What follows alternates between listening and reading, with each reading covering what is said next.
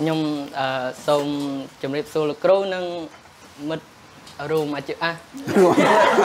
មិត្តរួមក្រុមអឺថ្នាក់ទាំងអស់មិត្តរួមរួមអាជីពហ៎អានោះអានោះចែចង់អញមានថាអានោះ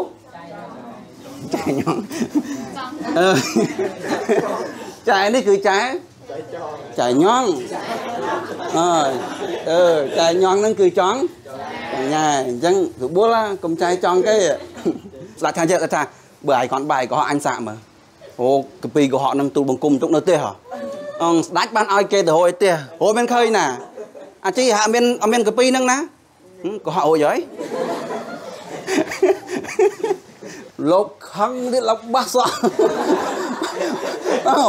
ទៅឌីលោកចឹងលោកខឹងលោកតាខឹងលោកបាសសក់ហ្មងអូឌីអាត្មាឌីអាត្មាថាមកអាត្មាដូចកគូតវាចាណាមខឹងអូន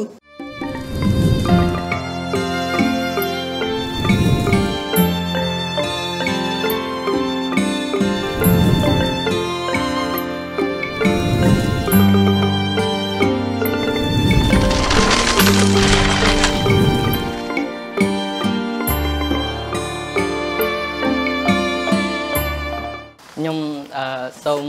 ជម្រាបសួរលោកគ្រូនិងមិត្តរួមអាជីពអាមិត្តរួមក្រុមអឺថ្នាក់ទាំងអស់មិត្តរួមរួមអាជីពហ៎ក្នុងបាល់ថ្ងៃតនេះបខ្ញុំឡាបានមកសង្ខេបរឿងឋានញ្ជ័យសូមសម្ដាប់ដូចតទៅរាត្រីមួយដែរឋានញ្ជ័យមកចាប់កំណើតនៅក្នុងពុំដៃរបស់ខ្លួនម្ដាយរបស់ខ្លួនបានយល់សពដូចជាអេយល់សពឃើញថាដូចជាយល់សូងយល់សពឃើញដងបេះបានទាំងផ្លែ យល់សពឃើញខែខែនៅពេញបរមីចម្លែកនឹងយល់សពព្រឹកឡើងនាងក៏បានទៅរកឲ្យហរាឲ្យហរាទេជួនជាចៃដន្យតាហៅមិននៅក៏បានជួបនឹងប្រពន្ធតាហៅនាងនាងក៏បាននិយាយរឿងនៅក្នុងយល់សពឲ្យប្រពន្ធតាហៅស្ដាប់ប្រពន្ធតាហៅបានដឹងថានាងនោះនឹងមានកូននឹងមានកូនប្រុសម្នាក់ដែលនឹងអាចខ្លាចជាស្ដេចនាងក៏បានទេបង្ខំថាអឺនាងឯងនឹងមានកូន ប្រុសម្នាក់នឹងខ្លាចទៅជាខ្ញុំបំរើគេក្រោយមកនាងក៏បានកើតបានកូនប្រុសមែនក៏បានដាក់ឈ្មោះថាឋានញ្ជ័យអាយុបាន7ឆ្នាំឋានញ្ជ័យតែងតែទៅលេងផ្ទះសេដ្ឋីជារៀងរាល់ថ្ងៃថ្ងៃមួយពេលដែលប្រពន្ធលោកសេដ្ឋីកំពុងតែត្បាញនៅលើផ្ទះក៏ស្រាប់តែជ្រុះត្រល់ក៏បានស្រែកហៅឋានញ្ជ័យឲ្យមករើសត្រល់ឲ្យដោយសន្យាថានឹងឲ្យអបុកឋានញ្ជ័យជាច្រើននៅពេលដែលប្រពន្ធលោកសេដ្ឋីយកអបុក មកឲ្យឋានញ្ជ័យឋានញ្ជ័យយកអឺមិនព្រមយកព្រោះថាអំបុកនោះតិចពេកសំឡេងយំរបស់ឋានញ្ជ័យបានលើទៅដល់លោកសេដ្ឋីដែលកំពុងនៅនៅលើផ្ទះមហាសេដ្ឋីក៏បានប្រើល្បិចដោយយកអំបុកទៅដាក់លើនៅចង្អេរមួយទៀតដាក់នឹងកញ្ជើហើយឲ្យឋានញ្ជ័យរើសឋានញ្ជ័យបានរើសអំបុកនៅលើចង្អេរហើយក៏បាននឹកឃើញពីការបោកប្រាស់របស់លោកសេដ្ឋី ពេលត្រឡប់ទៅផ្ទះឋានញ្ជ័យបានសុំម្ដាយឲ្យយកខ្លួនទៅបម្រើលោកសេដ្ឋីនៅផ្ទះលោកសេដ្ឋីនៅជាមួយលោកសេដ្ឋីមុនដំបូងអឺឋានញ្ជ័យត្រូវបានលោកសេដ្ឋីប្រើឡើងវិវត្តដោយឲ្យរត់ឲ្យរត់តាមសេះទៅជំនុំកស្ដាច់ខ្វៀលកោចាំចំការធ្វើការនៅក្នុងផ្ទះប៉ុន្តែគ្រប់សកម្មភាពទាំងអស់ត្រូវបានឋានញ្ជ័យចាញ់ចាយយ៉ាងយ៉ាងគួនកោតដោយអឺដូចជាឋានញ្ជ័យរើអាចសេះដាក់ក្នុងថង់យ៉ែម បណ្ដោយឲ្យកោចូលស៊ីដំណាំក្នុងចំការអស់អឺចាប់កោចាប់កោឈ្មោះនៅស្រុកចងអឺបណ្ដាឲ្យមានរឿងដល់សទ្ធិស្រ័យឲ្យសទ្ធិមកពិសាបាយឲ្យគាត់ខ្មាស់គេខ្លាំងនិងចិញ្ចូនតែសម្បុកមន់និងសម្បកប៉ុននៅពេលដែលភ្លើងឆេះផ្ទះដោយខ្លាចប្រាជ្ញាឋានញ្ជ័យនិងដើម្បីសងសឹកឋានញ្ជ័យផងនោះលោកសទ្ធិក៏បានយកឋានញ្ជ័យទៅថ្វាយស្ដេចនៅជាមួយមុនដំបងស្ដេចបានដេញប្រាជ្ញាឋានញ្ជ័យដូចជាឲ្យឋានញ្ជ័យពោស្ដេចអឺ ឲ្យឋានញ្ជ័យរកពុំមន់ឲ្យបានមួយនៅពេលដែលមួយចូលទៅក្នុងទឹកឲ្យឋានញ្ជ័យជាដំរីក្រីជើងអឺដឹកក្រយ៉ាស្ងោយស្ដេចនៅពេលទៅពុពេតព្រៃឲ្យឋានញ្ជ័យបោះសម្រាមក្រំដំណាក់ឲ្យឋានញ្ជ័យរកមន់មកប្រជុំជាមួយនឹងមន់ស្ដេចឲ្យឋានញ្ជ័យរកក្របីមកប្រជុំជាមួយជាមួយនឹងក្របីស្ដេចតែគ្រប់សកម្មភាពទាំងអស់ត្រូវបានឋានញ្ជ័យឈ្នះគ្រប់លើកដូចជាធ្វើឲ្យស្ដេចខ្មាស់គេខ្លាំងដោះគំនិត ព្យាបាទកាច់បំបាក់ដូចជាប្រើស្រីស្នំឲ្យទៅជួអាចដាក់ផ្ទះឋានញ្ជ័យស្អំមុខឋានញ្ជ័យមិនឲ្យចូលវាំងតែតែគ្រប់អំពើឈ្នះនេះរបស់ស្ដេចធ្វើឲ្យឋានញ្ជ័យផ្ចាញ់ចាយយ៉ាងដំណំដូចជាឋានញ្ជ័យហែនចំតិតគូតដាក់ស្ដេចហេនវ័យពួកមេនុបមេនាងដែលស្ដេចប្រើឲ្យមកជួអាចដាក់ផ្ទះខ្លួនប្រាជ្ញាឋានញ្ជ័យបានល្បីល្បាញទៅដល់ប្រទេសចិនស្ដេចស្រុកចិនក៏បានបញ្ជូនអ្នកប្រាជ្ញគេមកមកស្រុកខ្មែរដើម្បីធ្វើការភ្នាល់ ភ្នាល់ជាមួយស្ដេចស្រុកខ្មែរទេរោគក្របអលឹកដែលចិនយកមកក្នុងបំណងមកស្រុកខ្មែររណបក្នុងការដោះចំណោទនេះឋានៈជ័យយកខ្លួនធានាបន្តែដោយចំណោទទេរោគក្របអលឹកឋានៈជ័យពិបាកពេកឋានៈជ័យមិនចង់ឃើញប្រទេសជាតិខ្លួនធ្លាក់ក្នុងកម្ដាប់ដៃចិនក៏បាន ទៅលោតទឹកសម្លាប់ខ្លួនតែ តែមិនបានតែមិនបានលេចបែរទៅជារស័តប៉ះនឹងសំពើចិនក៏តោងចង្កូតជាប់ពេលនោះ ជួនជាយប់ស្ងាត់ឋានញ្ជ័យបានលឺពលមន្ត្រីពលមន្ត្រីចិននិងអ្នកប្រាជ្ញរបស់គេជជែកគ្នារឿងក្របអលឹកក្នុងផ្លាយនីមួយៗឋានញ្ជ័យលឺលឺក៏បានហែត្រឡប់មកផ្ទះវិញពេលស្អែកឡើងឋានញ្ជ័យទេរកក្របអលឹកត្រូវទាំងអស់ពួកចិនទទួលព្រមចាញ់ប្រគល់សំពើឲ្យស្ដេចខ្មែរចំនួន500គ្រឿងរួចត្រឡប់ទៅវិញដោយខ្លាចប្រាជ្ញាឋានញ្ជ័យពុំឲ្យឋានញ្ជ័យនៅក្នុងនៅចិត្តវាំងឡើយដោយអឺ ដោយបញ្ជាឲ្យទៅនៅនៅឯដងទន្លេទីនោះឋានញ្ជ័យបង្កើតឲ្យមាន ការបងពុនគួយបណ្ដាលឲ្យមានទំនាស់ជាមួយនឹងពួកឈ្មោះដែលរកស៊ីនៅតាមដងទន្លេធ្វើឲ្យមានរឿងដល់ស្ដេចធ្វើឲ្យស្ដេចមានលេសប្រើពេជ្ជឃាតឲ្យយកឋានញ្ជ័យទៅសម្លាប់ចោលនៅក្នុងទឹកឋានញ្ជ័យបានបោកពេជ្ជឃាតឲ្យច្រៀងរំលើទូកកត់លោតចុះទៅក្នុងទឹកដែលហែលកិច្ច រួចផុតក៏បានទៅបួសជាសង្ឃនៅវត្តមួយ គេគ្រប់គ្នាបានគិតថាឋានញ្ជ័យបានស្លាប់នៅក្នុងទឹកបាត់ទៅហើយដំណឹងនេះបានលើទៅដល់ស្ដេចស្រុកចិនស្ដេចស្រុកចិនត្រេកអរណាស់ក៏បានបញ្ជាឲ្យអ្នកប្រាជ្ញគេមកស្រុកខ្មែរចោទជាប្រស្នាភ្នាល់ដាក់ប្រទេសជាតិទៀតស្ដេចខ្មែរមានការផិតភ័យព្រួយបារម្ភខ្លាំងព្រោះគ្មានអ្នកណាអាចតទល់ជាមួយនឹងអ្នកប្រាជ្ញចិនបានក៏អំពាវនាវរកអ្នកប្រាជ្ញមកជួយឋានញ្ជ័យបានលើដំណឹងនេះក៏បាន សឹកចេញពីវត្តមកជួបស្ដេចហើយចូលទៅតតាំងដោះប្រសាជាមួយនឹងជាមួយនឹងអ្នកប្រាជ្ញចិនរហូតទទួលបានជ័យជំនះទៅលើអ្នកប្រាជ្ញចិន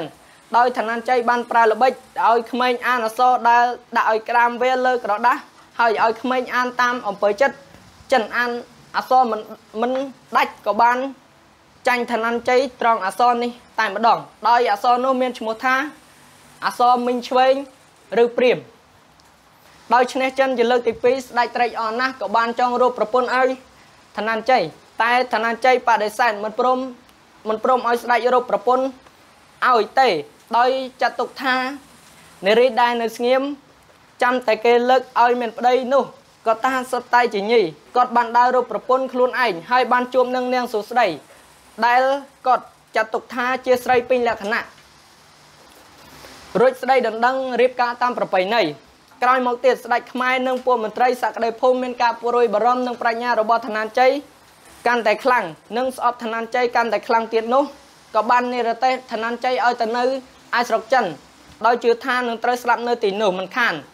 នៅស្រុកចិនឋានញ្ជ័យបានធ្វើនំបញ្ចុកលក់ល្បីដល់ស្ដេចចិនចុងសោយនំចំណីចម្លែកក៏បានហៅឋានញ្ជ័យមកយកនំមកថ្វាយបណ្ដាលឲ្យគាត់មានលទ្ធភាពមើលមុខស្ដេចចិនក៏បានពោលពាក្យបែបមើលងាយ ទៅស្ដេចចិនថាមើលមុខស្ដេចចិនដូចមុខឆ្កែចំណែកឲ្យមុខស្ដេចខ្មែរដូចខែពេញបរមីស្ដេចខឹងក៏បានក៏បានឲ្យអាមាត្យយកឋានញ្ជ័យទៅឃុំទៅដាក់គុកគុកសម្រិតក្នុងគុកឋានញ្ជ័យបានប្រដាជាមួយនឹងអ្នកគុកចិនដើម្បីកុំឲ្យរងាស្លាប់រួចគាត់បានធ្វើខ្លែងឯកបង្ហោះហើយបង្ហើនៅពេលយប់ស្ដេចចិនក៏បានលឺក៏មានអារម្មណ៍ភិតភ័យក៏ឲ្យហរាទេ ហរាបានទេថាវាជាសម្លេងសត្វចម្លែកមួយនឹងចូលមកស៊ីមនុស្សនៅក្នុងនគរអស់ជាមិនខានបើមិនព្រមដោះលែងអ្នកអ្នកប្រាជ្ញស្រុកខ្មែរនោះទេស្ដេចចិនលើដូច្នោះក៏បានបញ្ជាឲ្យដោះលែងឋានញ្ជ័យឲ្យត្រឡប់មកមេត្តភូមិវិញឃើញឋានញ្ជ័យអាចត្រឡប់មកមកស្រុកខ្មែរវិញស្ដេចខ្មែរនិងពួកមន្ត្រីសក្តិសក្តិភូមិមានការកោតខ្លាចប្រាជ្ញាឋានញ្ជ័យជាខ្លាំងលែងហ៊ានរករឿងឋានញ្ជ័យទៀតហើយឋានញ្ជ័យ បានរស់ជាមួយនឹងប្រពន្ធប្រពន្ធយ៉ាងសុខសាន្តថ្ងៃក្រោយមកឋានញ្ជ័យមានជំងឺមានជំងឺជាទម្ងន់តែមុននឹងស្លាប់គាត់បានហៅស្ដេចមកផ្ដាំថាសោយត្រីព្រួលកុំចោលស្រកាសោយត្រីប្រាក់កុំចោលស្រកីបើស្លោមកជូរក្បាលត្រីកុំភ្លេចដាក់មកជូរសណ្ដានហើយផ្ដាំប្រពន្ធប្រពន្ធក៏ថា កាលណាគាត់ស្លាប់ឲ្យយកគាត់ទៅកប់ហើយធ្វើចម្រងដាំខ្ញែលើចម្រងដើម្បីការពារភ្នូនោះ រឿងនេះចប់តែត្រឹមនេះអរគុណអរគុណបានសម្រាប់បានអូនមិញអឺយើងបានស្ដាប់រឿងធានអញ្ជ័យហើយរឿងធានអញ្ជ័យនេះ ជាប្រភេទរឿងប្រជាប្រិយមែនទេរឿងប្រជាប្រិយអញ្ចឹងរឿងប្រជាប្រិយដែលយើងសិក្សាមួយគ្នានេះគ្រូយើងយើងរៀនតែប៉ុណ្្នឹងទេអឺអាទិត្យក្រោយនេះយើងរៀនអក្សរសិល្ប៍ទំនើបឬក៏ខេមរៈនិយមវិញម្ដងព្រោះឆ្នាំហ្នឹងរៀនឲ្យអស់ហ្មង អូនអញ្ចឹងឥឡូវយើងមកមើលពាក្យនេះរឿងដែលយើងសិក្សានេះគឺរឿងធនញ្ជ័យពាក្យនេះប្រហែលជាប្លែកបន្តិចសម្រាប់យើងដោយសារជាទូទៅយើងអានធនជ័យមែនទេលោកគ្រូអ្នកគ្រូច្រើនក៏អានធនជ័យដែរហើយគ្រូមិនដឹងថាយើងអានធនញ្ជ័យអញ្ចេះវាខុសឬក៏ត្រូវទេប៉ុន្តែសម្រាប់គ្រូផ្ទាល់គ្រូឲ្យអានថាធនញ្ជ័យទៅដោយសារអីយោងទៅលើពាក្យដែលคล้ายមកពីបល័យបែបនេះយើងគួរតែអានថាធនញ្ជ័យអានេះ មិនមានន័យថាគេអានធនជ័យខុសទេយើងមិនបដិសេធទេអូនតានេះអញ្ចឹងចាត់ទុកថាយើងអានរបៀបថ្មីដើម្បីចែកគ្នាទៅគិតមើលថាវាគួរអត់ទេអូនបល័យគេអានគេអត់ដែលចោលអក្សរទេអញ្ចឹងគេអត់ដែលចោលអក្សរទេអញ្ចឹងអានេះយើងអាចអានធៈបានព្រោះធៈក្នុងបល័យធធៈដូចកអញ្ចឹងយើងអានថាកៈបើយើងនិយាយភាសាធម្មតាថាវាបូកមួយអាសូអសូអនៅក្នុងហ្នឹងទៅតាមពូអពូអូ អញ្ចឹងធនេះមិនមែនថាឯធធៈដល់ពេលណូនេះវាត្រូវបូកជាមួយនឹងញោណូនេះវាត្រូវប្រកបជាមួយនឹងញោអញ្ចឹងវាចេញណាញ់នេះជ័យនេះជើងជួនេះនឹងយកសង្យោគដូចយើងជ័យធម្មតាអញ្ចឹងណាអឺជ័យជំនះអញ្ចឹងយើងគួរតែអានថាធានានជ័យហើយបើសិនជាយើងអានថាធនជ័យអូខេយើងអានប្រេះធនជ័យប៉ុន្តែអសរញោនេះយើងទុកឯណា នេះបើយើងគិតលេងលេងគ្នាយើងណាអានេះមិនឲ្យទៅធ្វើសង្គ្រាមឆ្លោះគ្នាពេញហ្នឹងណាតែគ្រូអានអញ្ចឹងប្រហែលជាអាចមានអ្នកចេះទៀតអ្នកចេះអ្នកខ្លះនឹកឃើញចេះបរោយគ្រូពិបាកដែររហងៃនេះគាត់ដូចគ្រូយើងឯមុនអញ្ចឹងគាត់តែបង្រៀនខ្មែរហ្នឹងក៏ចេះដែរស្ទើរតែគ្រូនឹងអត់ទៅបង្រៀនធម៌វិន័យអូពួនឯងនឹងដាក់បាក់ឌុករៀនធម៌វិន័យអញ្ចឹងណោះត្រូវអត់អូអ្នកបាក់ឌុករៀនអសរសិល្ប៍អញ្ចឹងហើយចាំមកធម៌វិន័យចាំគ្រូបង្រៀនលោកមកអាយុវែងបាទថាមែន ឲ្យមានដៃគ្នាចេះរសេទៅណាអញ្ចឹងឥឡូវបើអានធនជីយើងសន្មតថាវាមានតែបាត់បាត់ញោមួយទៀតយើងអានធនញ្ជីដើម្បីងាយស្រួលសរសេរឲ្យដឹងថាហ្នឹងគឺវាមានជើងជោឥឡូវយើងមើលតួអង្គអានេះអឺធនញ្ជីស្ដេចខ្មែរស្ដេចស្រុកចិននាងសួស្ដី ហើយនឹងសេដ្ឋីតាមពិតយើងមានតួមួយចំនួនទៀតដែររឿងមកមិញនេះឃើញថាអូនទាំងអនលើកសង្ខេបមកនេះយើងស្ដាប់បានច្រើនដែរហើយអ្វីដែលសំខាន់យើងមានពាក្យកន្លែងនេះគាត់យល់សពយល់សពយល់សោងមែនទេអនអនយល់សពយល់សោងមានន័យថាម៉េចយល់សោងអនតែឆ្ងល់ឯពាក្យហ្នឹងហ៎យល់សោងសបិនអន តាមពិតដំណងជាពាក្យនេះជាពាក្យបរិវារខ្មែរគ្រូមិនដឹងថាគេបកថាម៉េចទេប៉ុន្តែតាមធម្មតាពាក្យបរិវារស័ព្ទនេះគឺជាពាក្យកន្លោះកន្លោះអញ្ចឹងយល់សពយល់សោងគួរតែពាក្យយល់សោងនេះកន្លោះទៅជាយល់សោងឃើញ10អឺសិលៈសោតប៉ុន្តែនេះអញ្ចឹងអឺយល់សពយល់សោងមានថាយល់សោងឃើញ10មានថាយល់សពនឹងយល់សពឃើញឃើញដង តែពិតមានពាក្យបរិវារស័ព្ទខ្មែរច្រើនទៀតឧទាហរណ៍ថាយើងនិយាយពាក្យថាក្មេងខ្មាំងអូនថាលើពាក្យក្មេងខ្មាំងអីពាក្យខ្មាំងធម្មតាយើងអត់ដឹងថាម៉េចទេតែដល់ពេលយើងទៅកន្លោះក្មេងខ្មាំងមានន័យថាខ្មាំងអ្នកចិត្តខេងអឺអូនអូនឃើញអញ្ចឹងកាលណាគេប្រើពាក្យថាក្មេងខ្មាំងអូមានន័យថាសំដៅទៅលើក្មេងក្មេងអ្នកចិត្តខាងមានន័យហ៎មានន័យហ៎ពាក្យខ្មែរសឹកមានន័យអញ្ចឹងណាអឺ ឧទាហរណ៍ថាគេនិយាយថាអូអានោះមើលអានោះអានោះចែចង់អញពាក្យចែចង់អានោះចែចង់អញអឺចែចង់ថាអូអានោះអានោះចែចង់អញអញ្ចឹងអាពាក្យពាក្យនេះមានថាចែនេះចែអីចែញងអឺអានោះអានោះចែចង់អញមានថាអានោះចែញងអឺ ចែនេះគឺចែចៃញងអើអឺចៃញងហ្នឹងគឺចង់ញ៉ែអញ្ចឹងរបួលកុំចៃចង់គេអឺដល់ពេលទៅមានពាក្យយើងមានពាក្យទៀតចៃចៅយើងធ្លាប់លើអានេះអឺអានេះពាក្យនេះល្អការចូលស្ដីណាពាក្យនេះគឺសំដៅទៅលើការចូលសួរប៉ុន្តែយើងមានចៃចៅនេះគឺចែចែដល់ម៉ូល អឺចែដល់ម៉ូលចូលដល់ម៉ែដល់ពេលចៅនេះចៅដល់អូលមានន័យហ៎មិនចេះទៅពីទៅទេណាអញ្ចឹងកាលណាគេថាអូនបងអាចចែចៅបានអត់ស្អីចែចៅហ្នឹងគេចង់សួរថាគេគឺគេចង់ទៅសួរដល់ម៉ែឪរបស់យើងអញ្ចឹងឥឡូវនេះយើងគួរថាចែចង់ហើយក៏ចែចៅស្អីស្អីស្អីស្អី សើចង់បានចែចៅចង់សិនចែចង់ចែចង់សិនណាបាទចង់សិនអឥឡូវប្រប៉ោះចែចង់ឲ្យចែចៅចែចង់ចង់អើយស្អីស្អីអូនចែចៅណាដែរដែរអើយចើដែរជួបព្រាមចែចៅព្រាមអត់ដែរវិញចែចង់សិនអឺបើសម័យបុរាណចែចៅចែចៅហើយនឹងនៅក្នុងអសរសិលខ្លះក៏ចែចៅដែរប៉ុន្តែឥឡូវនេះយើងភាគច្រើនយើង ចាចង់អានឹងរឿងបោះពួកឯងទេប៉ុន្តែអ្វីដែលគ្រូនិយាយគ្រូចង់បង្ហាញថាពាក្យទាំងអស់នេះគេហៅថាបរិវារស័ព្ទខ្មែរហើយគឺវាមានន័យបែបហ្នឹងវាមិនមែនជានិយាយទៅចោលចោលទេគ្រាន់តែពាក្យខ្លះយើងពិបាកកន្លោះអញ្ចឹងទៅហើយពាក្យខ្លះក៏គ្រូអត់ដឹងដែរអានេះយើងនិយាយបែកមកហ្នឹងដោយសារយើងនិយាយអំពីពាក្យយល់សពយល់សោងវាសំខាន់ដល់ពេលដល់ពេលគាត់ទៅទោះទេអត់មែនជួបតាហោណាអឺទៅជួប ប្រពន្ធតាហោមានណាប្រពន្ធនឹងឃើញថាអូកូននេះអនាគតខ្លាយជាមនុស្សល្អមានអនាគតល្អអ្នកល្បីល្បាញអញ្ចឹងដល់ពេលនិយាយនោះគាត់ទេថាម៉េចអឺគាត់ថាកូននេះឯអនាគតទៅកញ្ចេះគេបដ ாய் ដល់ពេលអញ្ចឹងថ្ងៃក្រោយយើងនិយាយអំពីឋានញ្ជីគាត់ធំឡើងគាត់ទៅណាអឺហេតុឥឡូវយើងគ្រូសួរថាហេតុអីបានជាគាត់ត្រូវទៅបំរើទេសដ្ឋីដោយសារគាត់ចាញ់ម្ដងមែនទេគាត់ចាញ់ម្ដង អូនប្រចាញ់នឹងមានច្រើនណាឧទាហរណ៍ថាឲ្យធនានជីទៅចាំចការអញ្ចឹងអានោះទៅចាំមែនដេកហួចអីអាណាស៊ីអីទៅអត់ខ្វល់អឺដល់ពេលសុថៃសួរថាអាជីមិនបានឲ្យកោស៊ីទៅលោកស្រីឲ្យខ្ញុំចាំចការថាអើយអាជីអើយដល់ពេលទៅឥឡូវហើយមិនបាច់ចាំចការទេ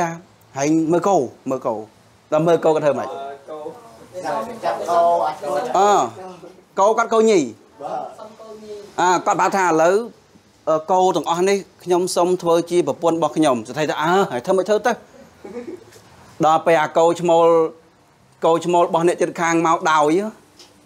អឺមកទៅពីទៅពេលហ៎អាជីចាប់យកទាំងអស់ចបៃចប៉ាខ្នេខ្នាមកកាផ្លេទាំងអស់ដល់ពេលអញ្ចឹងមានអីគេមិនប្តឹងសថៃដល់សថៃសួរមកអញ្ចឹងនេះមិនអញ្ចឹងអាម៉េច មកប៉ះប៉ល់ប្រពន្ធគេហើយសួរមិនអញ្ចឹងអាម៉េចអាហ្នឹងអាហ្នឹងធានាជីគាត់មានមូលហេតុចាប់មកប៉ះប៉ល់ប្រពន្ធគេហើយធ្វើឯងមិនអញ្ចឹងអាម៉េចឈឺក្បាលឈឺក្បាលមិនបាច់ទេឥឡូវនៅផ្ទះបានហើយដល់ឲ្យឲ្យធានាជីនៅផ្ទះធ្វើម៉េចភ្លើងឆេះផ្ទះអើជីយល់របស់សាសាអាកូនពូជអាកូនឪយកអាសាសាម៉ែនសបុកមន់អាជីហែងអីហែងទៅមើលអាណាដែលធ្វើឲ្យ ដុតភ្លើងឆេះទេទៅមើលមើលយកចកានយកចកានភ្លើងឆេះទេអូនចឹងសទ្ធិគាត់ហួសចិត្តគាត់មែនតើដល់ពេលយកទៅលេងវាំងទៅជួបមន្ត្រីធំធំបាត់អាជីអាជើងទីមួយបាត់អាជីអាជីហែងយូរមែនហើយមើលកម្មវិធីគេឡើងចប់អត់អត់ឃើញហែងអូលោកសទ្ធិឲ្យខ្លាច់ឈូសអានេះខ្លាច់ចូលស្លាហ៎គាត់ថាខ្លាច់ចូលស្លាអញ្ចឹងបានដើរយឺតហឹមឥឡូវហែងហែងកុំហែងកុំធ្វើចឹងហើយក្រោយ ហែងហត់ឲ្យហត់ហត់ឲ្យតន់អ៊ំណាបាទតន់មែនអឺអាជីយកមលូស្លាឲ្យឲ្យអ៊ំអាលីងសតតែកដកមិនចឹងហត់ចុះអ៊ំថាឲ្យហត់ឲ្យលឿនតន់សេះមែនអាលីងចូលខ្ទេចហែងមើលហែងឈូអីហើហិនហែងកុំធ្វើចឹងឲ្យក្រោយបាអ៊ំឥឡូវក្រោយនេះហើមែនអាចសេះក៏លូកខ្វាច់អាចសេះបណ្ដោយ ដល់គាត់គាត់អស់មែនតើអូមិនកើតទេអញតយកអាជីងទៅថ្វាយស្ដាច់គាត់ទៅដល់ថ្វាយស្ដាច់ភ្លាមបបពិតបកព្រះអង្គសទ្ធិសទ្ធិគាត់ថាអញ្ចឹងថានេះក្មេងនេះប្រាជ្ញាជ្រាវឆ្លាតណាស់ទេគាត់ចឹងអីតាបន្តិចទៀតចប់ហើយវើយគាត់ថាក្មេងនេះឆ្លាតណាឆ្លាតណាដេញបញ្ញាអត់តន់ហើយវាមានក្បួនកុហកទៀតហ៎យើងដេញវាអត់តន់ទេព្រះរាជាគាត់ថាអាជាអញលឺសទ្ធិថាហែងហ្នឹងមានក្បួនកុហក បើពិតព្រះអង្គក្បួនកុហកទុកនៅផ្ទះស្ដេចថាយកគាត់ថាបើឯងគាត់បាយកុហកអញសាក់មើលអូកពីកុហកហ្នឹងទូលបង្គំទុកនៅផ្ទះហ៎អង្គស្ដេចបានឲ្យគេទៅហូរឯផ្ទះហូរមិនឃើញណាអាជីហាក់មានអត់មានកពីហ្នឹងណាហឹមកុហកអូយហើយអើហើយគាត់ថាគាត់អុយហើយអូឈឺឡាត់ណែតដាច់ដាច់ខ្មាស់គេរួចស្ដាច់អាពេលហ្នឹងអត់ដឹងមិនអូនតែអង្គុយប្រចាញ់ថាអាជីហ្នឹងដេញប្រាជ្ញាថាអាជីហ្នឹង ដូចជាគាត់ឲ្យធ្វើម៉េចឲ្យឲ្យពងមន់អឺមួយទឹកពងដល់ពេលអញ្ចឹងស្រីស្រីប្របោដល់គេមិនមកតកតតពងមួយគេសឹកកាន់ពងមន់រួចហើយហ្នឹងដល់អាជីចេញមកធ្វើម៉េចអាងាវកោគៀងកាយកើតអាជីព្រោះព្រោះអាជីមិនហែមានពងហឹមបើទូលបង្គំអត់ឈ្មោលទេស្មាពួកនេះមានពងឯនេះអឺ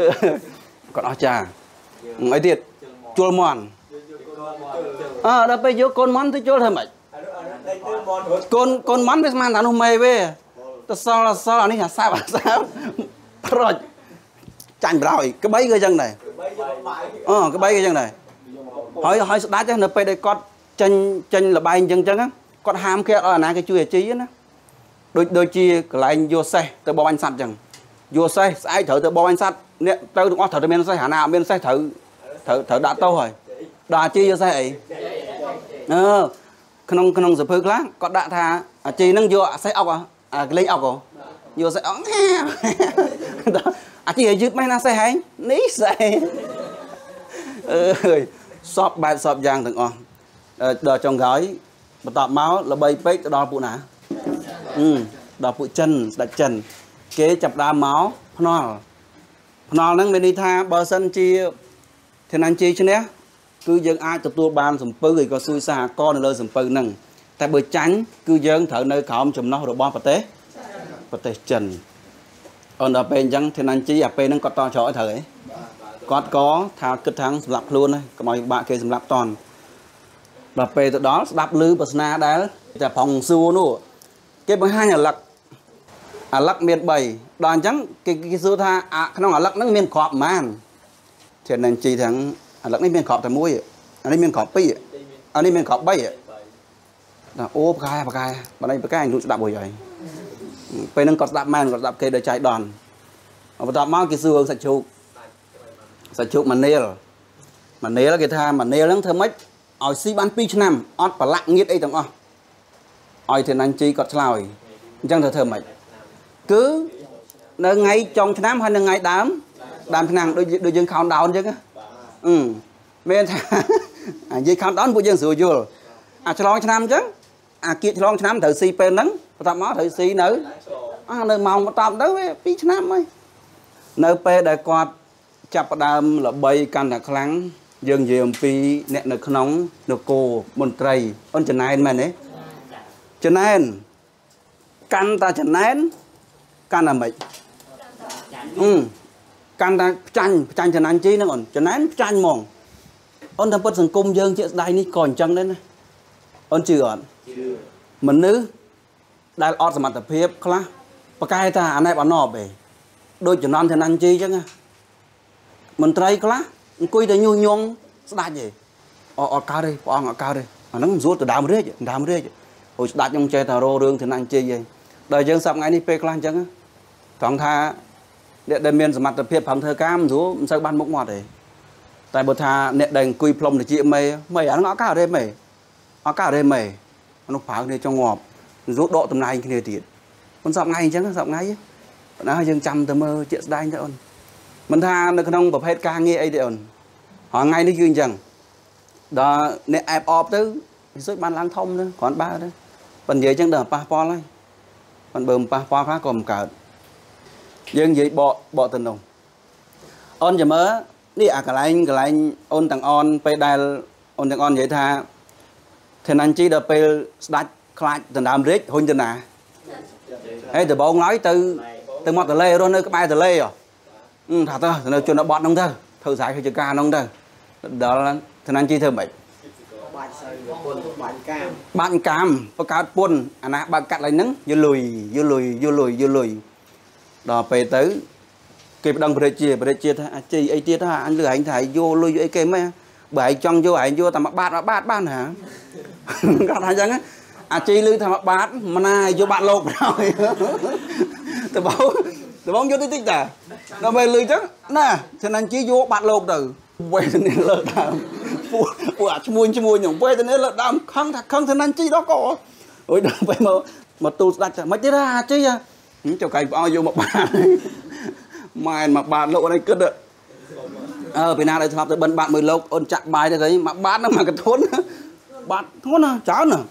ហើយប៉ះសណាញ់ជីមិនណាលុយមកបាតបាតមិនណាបានសណាញ់ជីទៅអូអកើតទេអកើតទេយើងអំពីពួកចិនណាយើងនិយាយពីពួកចិនតែពិតមកពីរដងអូនបន្ទាប់អំពី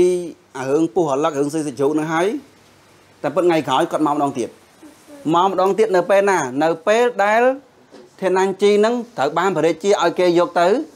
សម្លាប់ដល់អញ្ចឹងល្បីដល់ស្រុកចិនដល់ល្បីដល់ស្រុកចិនឃើញពួកពួកនឹងអហ៎អត្រូវមកដងទៀតប៉ុន្តែធានាញ់ជីស្លាប់អត់អត់គាត់ទៅណាគាត់ទៅបួសអូនអញ្ចឹងបានបានកន្លែងហ្នឹងធានាញ់ជីគាត់រួចរួចដោយសារអីគាត់ប្រាប់អ្នកលើទូកថាឥឡូវបើជ្រុលខ្ញុំស្លាប់ហើយខ្ញុំសុំសុបាយម្ដងទៅ អឺដល់ពេលអញ្ចឹងបងប្អូនដល់ពេលខ្ញុំខ្ញុំច្រៀងបងប្អូនជួយបន្តតាមខ្ញុំមកបាអឺមែនណាដល់ពេលគាត់ណាអាជីរត់ទឹកអនុថៃគេអឺហាច់អាហាច់អាគាត់ប៉ែលប៉ែលទៅទៅសាយទៅទៅសាយទូកយ៉ាងអនុដល់ចុងក្រោយអនុអាជីរត់ទឹកអើយហាច់ហាច់រត់រួចបាត់ទៅណាដល់មែនណាស្ដាច់ចិនមកពួកចិនមកទៀតបានស្ដាច់ខ្មែរភ័យហ្មងដល់ភ័យមិនដឹងទៅហោពីណាហោពីណីទេ ដល់ថ្ងៃមួយបិណ្ឌបាតមើលទៅស្ដាច់មើលស្ដាច់មើលដូចអាជ័យគាត់ថាជ័យហើយថាមិនជ័យទៀតដើរទៅបាត់ទៅបានស្ដាច់នឹងអូជ័យហីជ័យហីឲ្យ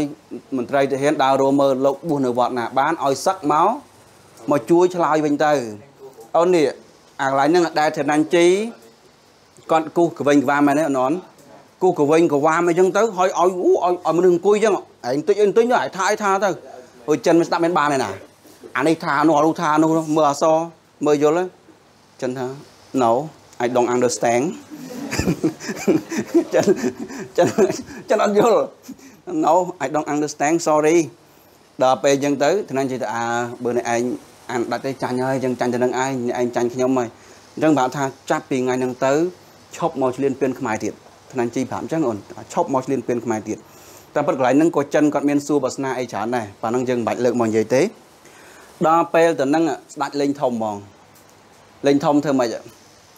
គឺបញ្ជូនធនានជីទៅស្រុកចិនអាហ្នឹងគឺមន្ត្រីទៅដើមញុះញង់កាន់តែខ្លាំងអឺបញ្ជូនទៅឆ្ងាយហ្មងព្រោះនឹកឃើញថាម៉េចនឹកឃើញថាពួកចិនស្អប់ធនានជីណាទៅដល់នោះដឹងថាស្លាប់ធនានជីចោលហើយត្រូវអត់អឺដល់ពេលទៅដល់ធនានជីធ្វើអី អឺប៊ីសនីលក់នំបញ្ចុកដល់លក់នំបញ្ចុកល្បិចធនានជីក៏ធ្វើចេះដើម្បីមើលមុខដាក់ចិនបានប្រាប់ដាក់ចិនថាព្រះអង្គតលតែលើកដៃឲ្យខ្ពស់ហាមាត់ឲ្យធំយេនំបញ្ចុកដើម្បីឲ្យឃើញមុខឃើញមុខសាច់ចិនច្បាស់មិនទាល់ហើយចឹងនំបញ្ចុកដល់អញ្ចឹងធ្វើម៉េចគាត់មើលឃើញគាត់ថាម៉េចមិញមើលមុខសាច់ចិនទៅឆ្កែចំណែស្ដេចមើលអេដូចថា ពីបរមអឺគាត់ថាអញ្ចឹងស្ដេចចិនមុខដូចឆ្កែដាច់ខ្មែរមុខដូចបខែពេញបរមីអូនមើលល្អប៉ុណ្ណាគាត់តាមពិតមិនគួរគ្រាន់ថានៅទឹកដីគេហើយឌីលគេទៀតប៉ុន្តែជួនកាបេះដូងគាត់ស្មោះគាត់មើលឃើញមិនគាត់ថាអញ្ចឹងគាត់ថាមនុស្សយើងពេលខ្លះស្មោះត្រង់ហើយក៏ត្រង់ពេកអាកន្លែងខុសកាលអូនតាអញ្ចឹងអ្វីដែលគ្រូចង់និយាយថាអស្ចារ្យប៉ុណ្ណាហ្នឹងត្រង់ថាគាត់ដល់ថ្នាក់ស្ដេចខ្មែរបញ្ជូនគាត់ឲ្យទៅស្លាប់សិនហ្នឹង តែគាត់នៅសរសើរស្ដេចខ្មែរទៀតយើងគិតថាជាតិនិយមប៉ុណ្ណាស្មោះស្ម័គ្រមួយបរិយាជាប៉ុណ្ណាទៅចង់ចូលវិញអឺទៅឌីឡូកអឺឌីឡូកឌីឡូកដើម្បីចង់ចូលវិញហ្នឹងហ្នឹងហ្នឹងអានោះអានោះថយក្រោយមែនថយក្រោយកាលនោះស្ដាច់ស្ដាច់ដាក់ពីនៃអត់ឲ្យចូលវាំងដូចជាប្រហែលឆ្នាំមកដល់ពេលអញ្ចឹងទៅបានបានហាច់ពី2ថ្ងៃឋានជីទៅដៀនលោកថា សក់កណាដូចសក់កងោតមើលមុខលោកដូចកកូតខ្ញុំកណាអញ្ចឹងនិយាយចឹងលោកខឹងទៀតលោកបាសសក់អូទៅដៀនលោកចឹងលោកខឹងលោកតាខឹងលោកបាសសក់ហ្មងអូដៀលអាត្មាដៀលអាត្មាថាមុខអាត្មាដូចកកូតវាកាលណាមិនខឹងអូនខ្វាយដៀលទៅដូចដូចកកូតអូបានទៅជីថាមានឯណាខ្ញុំកណារសើរលោកតាទេ ឲ្យកណានិយាយខ្លួនឯងនេះលោកថាលោកតាមានផប់តែកណានេះអត់មានផប់ជុលវាំងទេអូអាជីនិយាយល្អតើគុណមិនអីណាហួចខ្លួនទៀតអូនអញ្ចឹងដំណើររបស់គាត់វែងឆ្ងាយហ่ะសំខាន់មួយទៀតអានេះគ្រូរំលឹកឲ្យបានគ្រូមកចលនេះឲ្យកាន់តែច្បាស់ពេលដែលស្ដាច់ចិនខឹងធ្វើម៉េចដាក់គុកដាក់គុកសម្រិតអូនសម្រិតនេះរបស់តិចអូនដែរដឹងអត់សម្រិតនេះគឺជាវត្ថុតិចដល់ពេលអញ្ចឹងឃើញថា គុកនឹងតែពី3ថ្ងៃងាប់ហើយតិចអតែដល់ពេលអ្នកទៅលួបមើលស្ដាច់ចិនតែមើលពេលមកពីងាប់នៅមានងាប់ឯណាគាត់ធ្វើម៉េចគាត់បបួលអ្នកជាប់គុកដូចគ្នានឹងចំបាប់ចំបាប់ដើម្បីឲ្យបាច់ញើសហើយគាត់ដើរគ្នាទៅបាច់ញើសវាអត់អីទេដល់ពេលជប់ឡើងធនញ្ញជីដូចធ្វើអីអឺធ្វើខ្លាញ់ឯកអឺតអឺតអឺតអឺតអឺតអឺតចឹងដែរដែរស្គាល់ខ្លាញ់ឯកអីស្លាប់លឺហ៎អឺ ដល់ដល់គាត់បង្ហោះចឹងលឺអឺតអឺតដាក់ចិនភ័យបើសំឡេងអីយប់ឡើងលឺយប់ឡើងលឺចឹងមានណាហៅរាគេទាយថាម៉េចអឺអត់កើតទេព្រះអង្គសត្វចម្លែកស៊ីមនុស្សស៊ីមនុស្សដោយសារអីដោយសារតែយើងយកអ្នកប្រាជ្ញខ្មែរមកឃុំទុកនឹងគុកអូទោះដោះលែងទៅវិញបានដោះលែងទៅស្រុកខ្មែរវិញទៅហើយនឹងនាំយករបស់របរមួយចំនួនទៅថ្វាយដាច់ខ្មែរថែមទៀតផងហើយពួកអ្នកនៅខ្មែរហ្នឹងក៏ខ្លាចប្រាជ្ញារបស់ ឋានញ្ជ័យនឹងដែរប៉ុន្តែចុងក្រោយយើងនិយាយថាឥឡូវគាត់រស់នៅសុខសាន្តទៅហើយគាត់រស់នៅសុខសាន្តហើយដល់ចុងក្រោយគាត់ផ្ដាំព្រះរាជាថាម៉េចអើសោយត្រីព្រួលកំចោលសកាសោយត្រីប្រាកំចោលសកៃអីទៀតអឺស្លមកជូរក្បាលត្រីកុំភ្លេចមកជូរសណ្ដាន់មកឥឡូវនេះរឿងហ្នឹង អូខេហើយឥឡូវយើងចាប់ដើមនិយាយអំពីឧទាហរណ៍អញ្ចឹងថ្ងៃនេះរឿងនេះរៀងលំអិតដែរស្ដាយអ្នកខ្លះអត់បានអត់បានមកអញ្ចឹងអូនរឿងរបស់យើង គឺជាប្រភេទអសរសិល្ប៍ប្រជាប្រិយឥឡូវទី1រឿងធនញ្ជីអាចធ្វើឧទាហរណ៍តាំងក្តីតាក់ទងមួយអីយើងនឹកហ្មងមិនបាច់គង់ថាពីមុនមកគាត់នឹកឃើញយើងតំណាន់ជីនឹកឃើញអីប្រាជ្ញាមែនទេ ហើយក៏ឲ្យតែតែងស្ដីតាក់ទងប្រាជ្ញានឹកឃើញអឺតំណាន់ជីនឹងមុនគេអញ្ចឹងយើងថាប្រាជ្ញាឬក៏បញ្ញាអូនបញ្ញាហើយប្រាជ្ញានេះតែមួយណាបញ្ញានេះខាងបាលីប្រាជ្ញានេះខាងសំស្ក្រឹតឥឡូវប្រាជ្ញាយើងដាក់សិនអាទី2តើទៅមិនអីជំនឿជំនឿនោះជំនឿបើបោ អីទៀតស្នេហាជាតិដល់ដាក់ស្នេហាជាតិមួយសិនអូនយើងរនឹកសិនមកណារនឹកសិនអូនអឺទំនៀមទម្លាប់បៃណៃទំនៀមទម្លាប់ដាក់បានអូនបាយជីប្រៃល្បែងជាប្រៃដូចជាជួលមន់ជួលកបីតាមពិតសម័យនោះយើងអត់ដឹងថា យ៉ាងម៉េចអូនតាមពិតល្បែងទាំងអស់នេះយើងគ្រាន់ឃើញថាវាមានតាំងពីសម័យសម័យនោះហើយឥឡូវមើលមើលផ្សេងមើលផ្សេងការតស៊ូដាក់បានអូនអូននឹកទៀតអូននឹកទៀតការសងសឹកឥឡូវឥឡូវដាក់បាន ការសងសឹកឬក៏ការផ្ចាញ់ផ្ចាលអឺ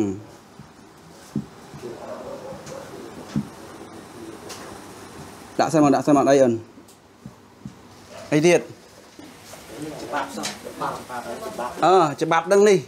យើងនិយាយពីកីឡាអូនដាក់បានអូនតាមពិតអត់ងាយរោរឿងណាដែលនិយាយពីកីឡាណាអត់ងាយណាអូនអូនអូនអារឿងកីឡានេះចាំយើងនិយាយក្រោយចង់ថាឧទាហរណ៍តើទៅមួយកីឡាតាមពិតអត់សូវមានទេអត់សូវមានអសរសិល្ប៍ទេឥឡូវយើងហៅមើលប្រាជ្ញាជំនឿស្នេហាជាតិទំនៀមទម្លាប់ការតស៊ូការសងសឹកកីឡា អឺការញុះញង់មានទេញុះញង់អឺញុះញង់ឥឡូវបើប៉ុណ្្នឹងសិនអានេះវាជាអ្វីដែលយើងត្រូវសិក្សានៅរាត្រីនេះសិរាត្រីនេះពីមុនមករឿងធានាញជ័យឬក៏រឿងធនជ័យនេះភាគច្រើនយើងផ្ដោតសំខាន់តែទៅលើ ប្រាជ្ញាឲ្យទៅថាចំណេះជាអាហារប្រាជ្ញាជាអាវុធដឹងអញហើយមែនទេមុនមកដល់រឿងធានាញជ័យហើយ អញ្ចឹងឥឡូវយើងមើលប្រាជ្ញាឬបញ្ញានេះយើងត្រូវអធិប្បាយសិនថាប្រាជ្ញាគឺអីប្រាជ្ញាគឺការដឹងហេតុផលគឺការស្គាល់ហេតុស្គាល់ផលច្បាស់លាស់អានឹងយើងអធិប្បាយអញ្ចឹងអានឹងយើងអធិប្បាយមកថាអ្នកមានប្រាជ្ញាតែងតែអាចសម្រេចការងារឬក៏គោលដៅជោគជ័យអីផ្សេងៗបានអ្នកមានប្រាជ្ញាតែងតែអាចដោះស្រាយបញ្ហាបានអ្នកមានប្រាជ្ញាតែងតែអាចធ្វើឲ្យគេនឹងក្លាយទៅជាមនុស្សខ្ពង់ខ្ពស់អូនអធិប្បាយគំនិតទាំងអស់នឹងមកដែលយើងហៅថាគំនិតសំខាន់ឬក៏គំនិតដែលគ្រប់គ្រងធំទៅលើប្រធានរបស់យើងនឹង តមកបានយើងឧទាហរណ៍ដូចជាណាធនញ្ជីពីកូនកសិករខ្លាយទៅជាមន្ត្រីឬក៏មិនមែនមន្ត្រីទេខ្លាយទៅជាបណ្ឌិតរបស់ប្រទេសឬក៏របស់ខ្មែរអ្នកប្រាជ្ញរបស់ខ្មែរអញ្ចឹងបានយើងយើងលើកមកយើងលើកអាតកតងមួយចំណុចដែលគាត់មានប្រាជ្ញាមកព្រោះឧទាហរណ៍ថាទី1គាត់ផ្ចាញ់សិទ្ធិឧទាហរណ៍អញ្ចឹងទី2គាត់ផ្ចាញ់ស្ដាច់ស្ដាច់យើងក៏គាត់ផ្ចាញ់ដែរទី3គាត់យកឈ្នះពួកអ្នកប្រាជ្ញចិន អត់ឃើញថាកន្លែងមួយទេអាកន្លែងគាត់លោតសម្រាប់ខ្លួនហ្នឹងយើងឃើញថាអានេះប្រហែលជាចំណុចតល់របស់គាត់ដំបូងណាតែក្រៅពីហ្នឹងគឺគឺគាត់ប្រើប្រាជ្ញាមែនឧទាហរណ៍ដូចជាចំណុចកន្លែងគាត់ទៅសេអសរទៅពីទៅពេលហ្នឹងណាអាសេអសរទៅពីទៅពេលអញ្ចឹងទៅគាត់ឲ្យកូនក្មេងជាថាថាទៅដល់ចិនអាណដាច់ចាញ់ឋានជ័យហ្មងដូចជាគាត់ទៅស្រុកចិនស្រុកអីអត់ឃើញទេអញ្ចឹងសិតតែប្រាជ្ញារបស់គាត់ទាំងអស់ជំនឿជំនឿនេះយើងនិយាយអំពីអីមានន័យថាខ្មែរយើងគឺ តកតងមួយការយល់សពឲ្យថាយល់សពអីមិនស្រួលអញ្ចឹងទៅកាត់ចាក់ឆ្នោតទៅមែនអញ្ចឹងឲ្យថាយល់សពល្អមិនល្អជាងការគេទៅកាត់ហើយកាត់យល់សពអញ្ចឹងបានម្ដាយរបស់ឋានជ័យគាត់សួរតាហោតែទៅជួបពីណាទេប្រពន្ធតាហោអញ្ចឹងនេះយល់សពស្នេហាជាតិអានេះយើងដឹងច្បាស់គឺតួអង្គធនញ្ញជីនេះគឺជាអ្នកដែលស្នេហាជាតិពិតប្រាកដអូនហេតុអីបានជីគិតយើងគិតថាជាតួអង្គស្នេហាជាតិពិតប្រាកដអូនមើល រឿងនេះតាមពិតបរិជារស់សម្រាប់ធនញ្ញជីនេះមិនក្រោម3ដងទេរហូតដល់ដេញធនញ្ញជីទៅនៅជនបទដល់ពេលមួយទៀតយកឲ្យគេយកឋានញ្ជីទៅសម្លាប់ដល់ចុងក្រោយពេលមានបញ្ហានឹកឃើញឋានញ្ជីនឹងដែរដល់ចុងក្រោយទៀតបញ្ជូនឲ្យទៅស្រុកចិនហ្មងប៉ុន្តែឋានញ្ជីគាត់អត់មានបានបន្ទុះតបអីក៏មានបំណងចង់ដណ្ដើមរាជស្ដេចទេផ្ទុយទៅវិញពាក្យដែលអូនទាំងអនលើកមកថា ឋានញ្ជីដែលគាត់មើលមុខស្ដេចចិនថាស្ដេចចិនដូចដូចមុខឆ្កែហ្នឹងដល់ពេលមុខស្ដេចខ្មែរដូចខែពេញបរមីបញ្ជាក់ច្បាស់ណាស់ថាធនញ្ជីទោះបីជាគាត់ស្ដេចនិរទេសគាត់ទៅស្រុកក្រៅក៏ដោយតែគាត់នៅតែស្មោះស្ម័គ្រជាមួយនឹងស្ដេចស្ដេចខ្មែរហើយនៅពេលដែលគាត់ទៅបួសនៅពេលដែលគាត់ទៅបួសគាត់ទៅបួសឃើញថាស្ដេចខ្មែរយើងចដាំតល់ដល់ពេលតស្ដេចខ្មែរ បានឃើញឋានញ្ជីគាត់អអឡើងវិញអញ្ចឹងក៏ចរចាមួយឋានញ្ជីថាឥឡូវប្រទេសកំពុងមានបញ្ហាហើយលោកម្ចាស់សឹកមកជួយដោះស្រាយបានអត់ថាអាត្មាជួយបានតែអាត្មាសឹកសិនអញ្ចឹងណាអូនឃើញអញ្ចឹងនៅ តែឋានញ្ជ័យនេះស្នេហាជាតិដដែលអញ្ចឹងតេតទៅមួយស្នេហាជាតិយើងលើកបានច្រើនចំណុចមិញណាអូនលើកមកតាមនឹងមកទំនៀមទម្លាប់កន្លែងណាកន្លែងគាត់គាត់អឺទីចា អឺដណ្ដឹងនាងសួស្ដីអូននៅពេលដែល នៅពេលដែលគាត់ទៅរទៅជួបនាងសួស្ដីអឺគេសួរថាអឺនាងនាងនៅស្រុកនេះមានស្រីទេហើយដល់ពេលទៅដល់ពេលទៅចែងគាត់សួរថាម៉េចអឺគាត់ថាហើយមកពីណាគាត់ថាអ្នកមកពីណាស្រុកអ្នកនឹងមានមានប្រុសទេអញ្ចឹងហីគាត់សួរអញ្ចឹងហីមានប្រុសទេបានគេសួរគ្នាថា ស្អីញីស្អីឈ្មោលស្អីប្រុសសួរអញ្ចឹងស្អីស្រីស្អីញីស្អីឈ្មោលស្អីប្រុសហ្នឹងដល់ពេលតាក់ពាក្យថាស្រីពិតប្រកបគាត់សំដៅលើអីមនុស្សដែលចេះទុកដាក់នៅល្អមានការគោរពប្រពៃណីត្រឹមត្រូវចេះចំណេះជំនាញរបស់ស្ត្រីអញ្ចឹងនាងសុស្ដីសួរថាចុះខាងនេះឯងមានប្រុសហើយមានតាប្រុសនឹងប្រុសមិនប្រុសឈ្មោះជីអ្នកដែលមាន ចំណេះដឹងអាចឈ្នះរឿងគ្រប់យ៉ាងបានអញ្ចឹងណាស្រីឈ្មោះសុស្ដីទៅស្អីអ្នកនាំសេរីសុស្ដីឲ្យគ្រួសារអ្នកដែលមានចំណេះដឹងអាចធ្វើការនៅក្នុងគ្រួសារបានអញ្ចឹងបន្ទាប់មកគាត់មិនមែនការភ្លាមណា នៅក្នុងរឿងហ្នឹងគឺគាត់បានឲ្យចាស់ទុំនៅពេលដែលព្រមព្រៀងជាមួយម៉ែឪគេហើយគាត់បានឲ្យចាស់ទុំចូលស្ដីដណ្ដឹងនាងសួស្ដីហ្នឹងអញ្ចឹងមានន័យថាទំនៀមទម្លាប់តកតងមួយការស្ដីដណ្ដឹងគឺមាននៅក្នុងរឿង អឺធនញ្ញជ័យនឹងដែរអឺការតស៊ូមានមួយទៀតការបួសបួសអឺមានដែរអានេះទំនៀមទម្លាប់អានេះយើងចាត់ទុកថាតកតងមួយសាសនាមែនទេសាសនាយើងអាចដាក់ដាក់អឺគោលការណ៍មួយទៀតក៏បានដែរតកតងមួយព្រះពុទ្ធសាសនាអឺនេះយើងអាចដាក់បាននេះបានច្រើនណាស់យូរយូរទៅបានច្រើនណាស់ អូនចាអាទំនៀមទម្លាប់មិញយើងនិយាយទៅត្រឹមទៅដឹងចុះណាបួសយើងទុកក្រោយតើតើមួយការតស៊ូអូនមើលតាមពិតធនញ្ញជីគាត់តស៊ូច្រើនដែលគាត់បាក់ទឹកចិត្តតាមមួយឯងមែនទេក្នុងរឿងណាកន្លែងណាអឺអាកន្លែងគាត់ពួកចិនមកមករឿងដំបូងហ្នឹងគាត់មកទៅមិនស្រួលទេអញសម្រាប់ខ្លួនហ្មងតែមួយហ្នឹងទេក្រៅពីហ្នឹងគាត់តស៊ូច្រើនតស៊ូតាំងពីស្ដាច់សម្រាប់ជាបន្តបន្ទាប់តែនៅតែផឹងរកបាន នៅតែរលល្បិចល្បោយឲ្យគាត់ប្រើប្រាជ្ញាដើម្បីរកបានទៅដល់ស្រុកចិនហើយនៅតស៊ូស្រុកចិនទៀតលក់នំបញ្ចុកអឺសំខាន់នៅក្នុងគុកគេត្រូវងាប់ហ្នឹងតែគាត់រកវិធីដើម្បីឲ្យខ្លួនឯងរស់បានតស៊ូនឹងតស៊ូដែរអូនយើងមើលអាតកតងមួយការសងសឹកកន្លែងណាសងសឹកនេះអត់ហើយសិទ្ធិអត់ជ័ចេយញហើយតែមិនជ័យតែក៏សិទ្ធិហើយគាត់ស្លាប់ទៅយកផ្សាយទៅដាក់ក្នុងក្នុងអឺតកតងមួយមួយការសងសឹកនេះតាមពិតវាមានច្រើនចំណុចគូសំដែរ សំបីតែសទ្ធិជាមួយឋានញ្ញជីឃើញថាចង់ឈ្នះចាញ់ទៅវិញទៅមកតើទេមួយដែរអឺដល់ពេលជាមួយស្ដាច់ក៏អញ្ចឹងដែរចង់ឈ្នះចាញ់ទៅវិញទៅមកអាហ្នឹងវាតកតងមួយការសងសឹកប៉ុន្តែគ្រាន់ថានៅក្នុងរឿងហ្នឹងមិនសូវមិនសូវពេញជាការសងសឹកហ្មងនេះពីព្រោះគេលក្ខណៈថានិយាយអំពីប្រាជ្ញាអូនអញ្ចឹងណាគ្រាន់តែប្រចាញ់ជាលក្ខណៈប្រាជ្ញាអត់មាននាំទុកទោសអីទៅដល់ស្ថិទេប៉ុន្តែបើពួក មន្ត្រីហ្មងចូលដល់ណាចូលនេះប៉ណ្ណឹងក្បាលយើងនិយាយកីឡាឥឡូវយើងនិយាយពីកីឡាសិនអន្តឥឡូវយើងបន្តទៀតជួយមើលកាមេរ៉ាឲ្យគ្រូផងមិននៅសារវាដាច់ម្ដងនេះយើងនិយាយពីកីឡារួចហើយមែនទេអូនអូនកីឡានេះដូចគ្រូនិយាយខាងដើមថាពិបាកបន្តិចរោរឿងដែលនិយាយពាក់ព័ន្ធមួយកីឡាប៉ុន្តែឥឡូវរឿងធានាញជីនេះយើងបានរឿងកីឡាមួយរឿងអីទៀតក្នុងរឿងដែលយើងធ្លាប់រៀនមកងាយឆានភូមិដេរឆាន ភូមិដេរឆានដាក់បានដែរអ្នកព្រីខ្មែរចាណាជួបគ្នាគាត់វាយគ្នាមែនទេអូនកាលណាយើងនិយាយកីឡានេះយើងនិយាយពីសម្រាប់កាយពលអឺនៅក្នុងរឿងនេះជួយយកហឹមតែចូលយកក៏ខាច់គុណដែរណាតែចូលយកតាមមួយទៀតប៉ុន្តែមួយទៀតរឿងការសពូនអូនប្រការសពូនមកឲ្យអូនអានអត់ដែរចុះប្រការសពូនមានណាណាប្រាំងជងោ ពេលដែលបុនធឿនគាត់មកក្រុមបាត់ដំបងចាំពេលគេលេងអូលបាយនេះផ្សេងផ្សេងៗមានបុនណាគាត់មកជួប sister Victory របស់គាត់ស្រាប់ពេលទៅគាត់បងទៅវិញដោយសារគាត់អត់មានអត់មានណាគឺធឿននឹងតាមពេលខ្លួនក្រោយគាត់អត់មានអត់មានបាទទៅ Victory គាត់ថាបងប្រញាប់ទៅវិញម៉េចចាំមើលទូកទៅណាទូកងោគាត់អីទៅខ្មៅនោះគាត់ឈើខ្មៅអញ្ចឹងហ្នឹងគាត់ថាអញ្ចឹងគាត់ថាងោគាត់ទៅលឿនណាបង អូនអញ្ចឹងយើងចង់និយាយថាតើទៅមើលលបែងទូកងោឬក៏កីឡាទូកងោនេះរឿងមានតាំងពីសម័យហ្នឹងមកដែរអត់ដល់អញ្ចឹងបាន3រឿងនេះនេះនេះបាននឹងមួយទៀតមកឥឡូវយើងមកនេះបន្តញុំញោមយើងដឹងហើយថាញុំញោមនេះគឺអ្នកណាញុំញោមម៉ាគឺដៃដៃអាម៉ាអ្នកដែលអត់សមត្ថភាពនិយាយរួមអូនមនុស្សពេលខ្លះអញ្ចឹងខ្លួនឯងអត់កំណត់ទេប៉ុន្តែមានកំណត់ខាងអី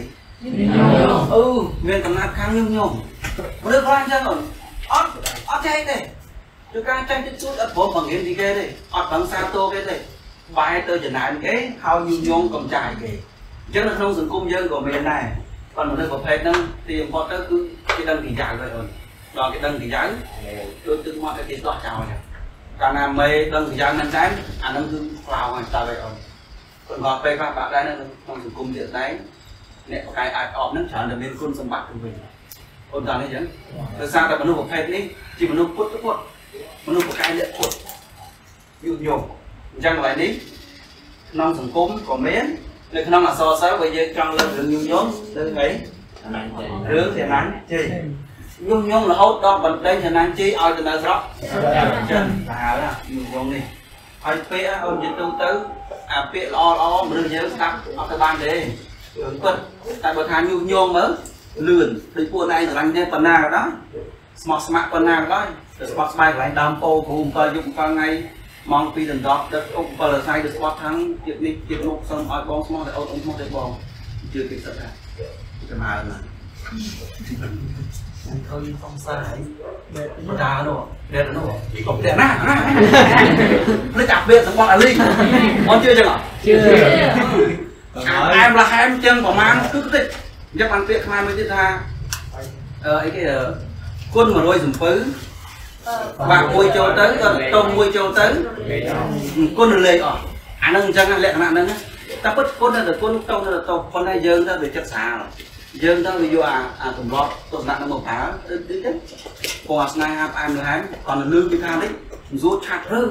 អូននៅណានៅខាងគាត់នៅខាងម៉ែនថាជួបជួបម៉ែនថាគេគេម៉ែនតែពិតនេះអត់ដឹងអីមកស៊ូមនេះតិចអីនៅក្រៅបងគ្នាឆ្លើយជួយចំអញ្ចឹង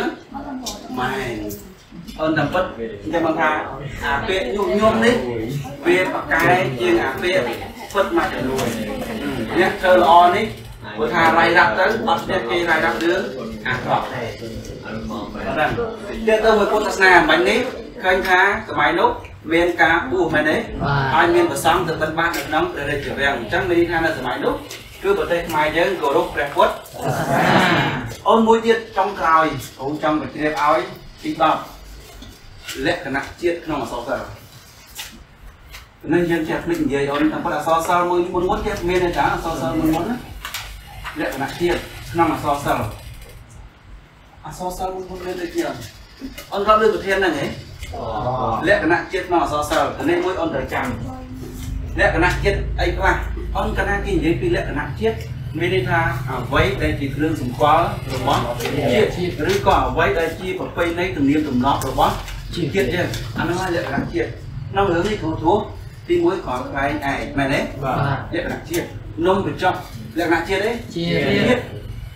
ដើម្បីថាការបួសក្នុងពុទ្ធសាសនានេះក៏ជាលក្ខណៈជាតិសម្ដេចខ្មែរយើងមួយដែរ នេះនេះនេះនេះទំនៀមទម្លាប់មែនទេជាលក្ខណៈជាជាតិដែរតែបើដូចដូចដូចកីឡាកីឡាបដាល់នេះជាលក្ខណៈជាតិដែរដូចដូចយើងនិយាយប៉ុណ្ណាំងទូកជាតិដែរប៉ុណ្ណានេះអញ្ចឹងជាជាលក្ខណៈជាតិនៅក្នុងនេះបើយើងនិយាយពីជំនឿក៏ចាក់ថាជាលក្ខណៈជាតិដែរអនដោយសារតាមនេះវាជាជំនឿតាមបែបខ្មែររបស់យើងពិតមិនពិតកាត់មិនកាត់យើងមិនដឹងប៉ុន្តែអានេះ ជាតិយើងដែលគាត់ប្រើប្រាស់ពីមុនមកអូនចឹងលក្ខណៈជាតិគាត់នៅក្នុងរឿងកណ្ដាលជីនេះយើងបានឡើងគុណតាមចំណុចហ្នឹងឥឡូវរឿងនេះដល់ប៉ុណ្ណឹងបានហើយអូនមានចម្ងល់អូនសួរបានតាមពិតល្អបិចលេចប្រធានហ្នឹងប្រធានមកហោះ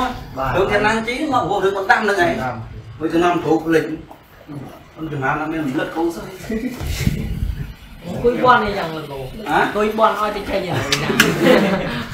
គេដាក់ថ្មីផ្សោយតែផ្សោយគាត់ទ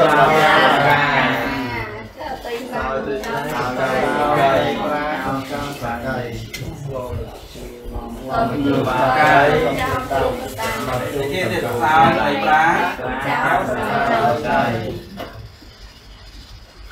ចូលទៅដល់ហើយបានហើយ Ờ, đi đi đi lo mà chu. Lo mà chu. Mà đây. Đây. Cái con gì hả rô à? Rô. Tại em xem biết là hầu cùng cháu. Cháu sinh đàn lúc hồi bật miên này. Dạ hả ok. Đàn. Bài thân miên gì vậy quạt đèn tăng tư na.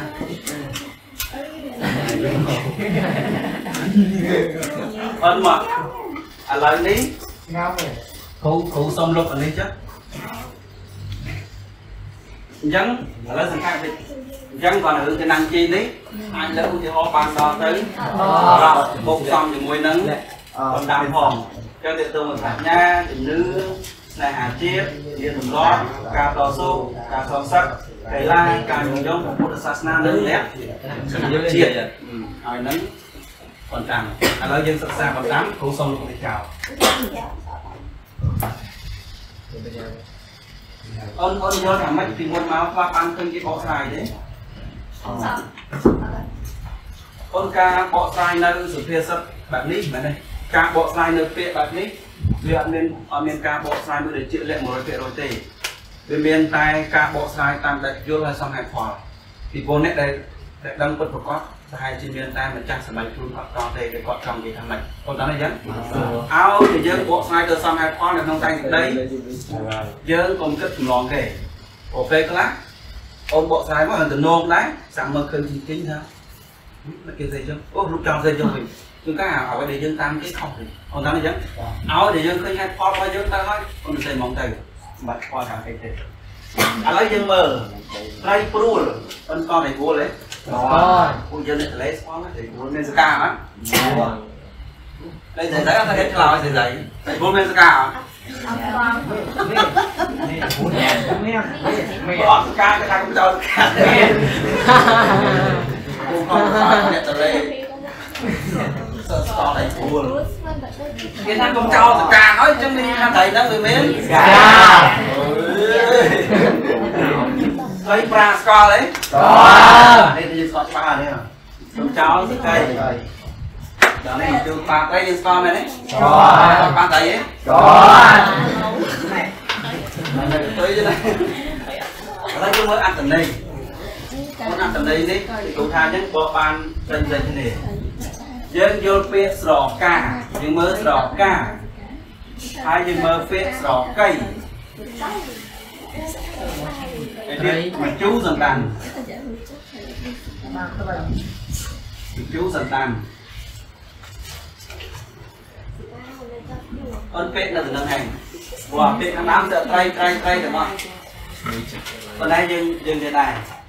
យើងមើលអានេះ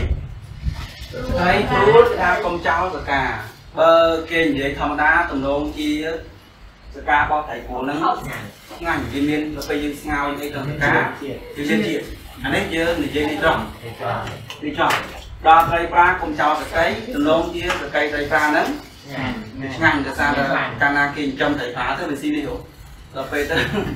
អត់តែប៉ាស៊ីអីអត់តែប៉ាស៊ីហ្នឹងទៅវាចាប់ដល់សកៃណាដល់ពេលចឹងវាខ្លាចតែជីជី100មុខ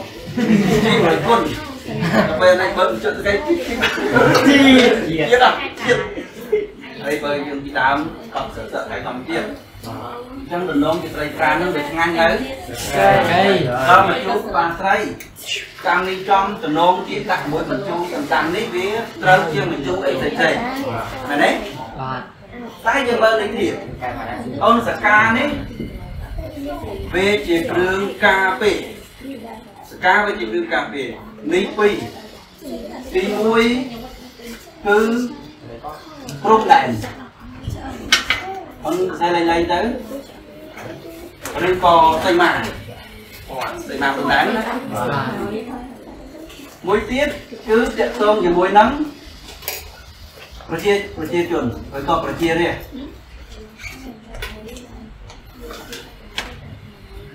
អូននាំនេះគាត់បាននិយាយគាត់ណា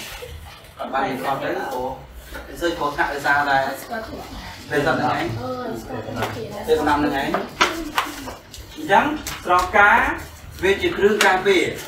អញ្ចឹងវាគ្រឿងការពារទី1អត្តន័យតំណងជាសំដៅទៅលើ Rung ដែ đai. នដែនប្រជាទីប្រជារាស្ត្រ2សំដៅទៅលើប្រជារាស្ត្រជារាជយើងមើលសកៃសកៃតាមធម្មតាត្រី គេដកដង្ហើមគឺដកដង្ហើមនៅតាមសកៃវាហ្នឹងគេគេបាក់អាកពាមាត់ឯមកសកៃហ្នឹងឲ្យផ្លូវដង្ហើមផ្លូវដង្ហើមផ្លូវដង្ហើមនេះយើងចង់និយាយថាប្រទេសយើងដែលពឹងផ្អែកទៅលើពិតប្រាកដគឺពឹងផ្អែកទៅលើសេដ្ឋកិច្ច con sẽ được cái anh em nuôi anh ấy cũng tốt sần anh ấy cũng dễ gặp phi là sần chẳng tụi nó chia thành anh chí có trong năm tha và để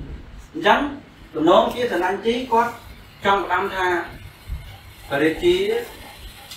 nơi phê ra và để chia ban là con lò mà nó ban làm na theo nhé Ủa có trong gì cái việc ngang này đấy បាទតែគាត់អាចឆ្ងាញ់បានគាត់អាចចាត់ចែងត្រីនឹងបានព្រោះគាត់មានអំណាចគាត់ជាអ្នកគ្រប់គ្រងអនអនយល់ហ្នឹងហ៎អញ្ចឹងហើយស្នាជីចង់តាមថាព្រះអង្គបើសិនជាព្រះអង្គបានអំណាចហើយបានជាអ្នកធំហើយកុំភ្លេចមើល សីមាមើលពុទ្ធពទល់ដែលជាគ្រឹះការពាររបស់ប្រទេសជាតិនឹងផងមួយទៀតកុំភ្លេចមើលប្រជារាស្ត្រពីព្រោះថាស្រុកមួយដែលអាចរីកចម្រើនទៅបានគឺអាស្រ័យលើអីជារាប្រជារាស្ត្របើប្រជារាស្ត្រសុខសាន្តអញ្ចឹងអ្នកដឹកនាំក៏សុខសាន្តតែបើប្រជារាស្ត្រមានទុក្ខអញ្ចឹងអ្នកដឹកនាំក៏មានទុកមានទុក្ខដែរអញ្ចឹងមានន័យថាអាគ្រឿងការពារនេះវាសំខាន់បើសិនជាគ្រឿងការពារនេះមានបញ្ហា អញ្ចឹងអ្នកដឹកនាំនឹងក៏មានបញ្ហាអានេះជាទំនងអានេះទំនងជាអ្វីដែលគាត់ផ្ដាំមកអូនគ្រូនិយាយខ្លីៗជាងអូនយល់បានទេទី2តកតមួយសកៃផ្លូវដង្ហើមសេដ្ឋកិច្ចអញ្ចឹងប្រហែលជាគាត់ចង់ឲ្យឃើញថាតើប្រជាជនរស់នៅដោយសារអីក៏ចំនួនជួនប្រែធ្វើដោយសារអីរឿងមិញហ្នឹងយើងចាប់អារម្មណ៍មួយគឺចំណាំជីនៅពេលដែលគាត់ទៅធ្វើស្រែនៅក្បែរទន្លេគាត់បាច់អី បាច់កាមែនទេគាត់បាច់កាមហើយអាណាបាត់ដើរកាត់យកឲ្យយកពុនអញ្ចឹងទំនងជាគាត់ចង់ឲ្យពិនិត្យមើលដែរថាអាណាយកពុនបានយកពុនទៅជាពិសេសពិនិត្យមើលទៅលើឈ្មោះឈ្មោះដែលឆ្លងកាត់ផ្លូវផ្លូវទឹកហ្នឹងអូនដឹងអីចឹងអញ្ចឹងគាត់គាត់ចង់ឲ្យប្រជាជនពិនិត្យមើលអាសេដ្ឋកិច្ចហើយក៏របស់ណាដែលជាសេដ្ឋកិច្ចគ្រឹះរបស់ប្រទេសជាតិហ្នឹងឲ្យគាត់មើលអាហ្នឹងជាផ្លូវដង្ហើមរបស់ប្រទេសជាតិហ្នឹងមជ្ឈូសំដាំអូនថាគាត់មជ្ឈូសំដាំ ជាក់ស្ដែងដល់នៅណានៅនៅរាស្រែដល់នៅអ៊ីស្រែលនៅអ៊ីព្រីនៅមាត់ខែមាត់បឹងក្នុងបឹងហ្នឹងណាបាទមជ្ឈូសំដាំអញ្ចឹងតាមធម្មតាយើងកម្រនឹងទៅរកវាណាលើកឡើងតែយើងគឺថាដើរកាត់ទៅបែរមកទៅគឺថាឲ្យតម្រង់ទៅរកមជ្ឈូសំដាំហ្មងមិនងាយទេលើកឡើងថាអ្នកណាដែលមានផ្ទះជាប់មួយតាមសំដាំនឹងផ្សេងអូនដឹងអញ្ចឹងអញ្ចឹងមានន័យថាតំតាំងជារបស់មួយដែលគេមិនសូវនឹកទេវានៅឆ្ងាយទៅ នេះតំណងជាស្នាងជីគាត់ចង់កម្មសំដាំហ្នឹងស្មើទៅលើអ្នកទៅតាអ្នកទៅតាស្នាងជីតំណងជាគាត់សំដៅទៅលើអ្នកទៅតាមានន័យថាកុំឲ្យបរិជាបានធំហើយអ្នកដឹកនាំនឹងបានធំហើយបែរជាបោះបង់អ្នកអ្នកទៅចោលមានន័យថាមនុស្សណាក៏គេមានគុណសម្បត្តិរបស់របស់គេដែរអត់អាចមើលងាយ មនុស្សទៅតាមបានទេអត់ដល់ហើយណាយើងមើលនៅក្នុងសង្គមសពថ្ងៃបើសិនយើងគិតតែពីពួកឈ្មួញអត់គិតពីពួកកម្មករកើតទេព្រោះឈ្មួញតែគាត់អាចបានមានលុយគឺពឹងទៅលើកម្មករអញ្ចឹងបើកម្មករមិនមានលុយកាក់គ្រប់គ្រាន់ហើយក៏ឈ្មួញបើស៊ីទៅលើកម្លាំងយើងជាគាត់ពួកគាត់អញ្ចឹងវាត្រូវមានបញ្ហាអញ្ចឹងមានន័យថាឲ្យប្រជាហ្នឹងមើលទៅដល់ខាងក្រោមនឹងផងរហូតទៅដល់មើលទៅដល់ប្រជារាស្ត្រនឹងផងអត់តាមបានទេអញ្ចឹងបាទអញ្ចឹងសរុបមក ក្នុងក្នុងពាក្យបណ្ដាំរបស់ចនាញជីនេះយើងឃើញថាគាត់បានផ្ដាំឲ្យប្រទេសជាតិហ្នឹងគិតគូរទៅលើប្រទេសជាតិរបស់គាត់គិតគូរទាំងសេដ្ឋកិច្ចគិតគូរទៅបញ្ហាព្រំដែនគិតគូរទៅលើប្រជារាស្ត្រឬក៏ប្រជាជនអ្នកតូចតាចតែគាត់ចង់និយាយថាមនុស្សទាំងអស់មនុស្សទាំងអស់គឺមានគុណសម្បត្តិរៀងៗរៀងខ្លួនខ្លួនអត់ហេតុអូខេណាបាទ